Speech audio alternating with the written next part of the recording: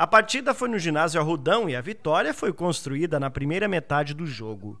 Com 30 segundos, Raul abriu o marcador. Depois, Bob e Feitosa marcaram ainda antes do intervalo.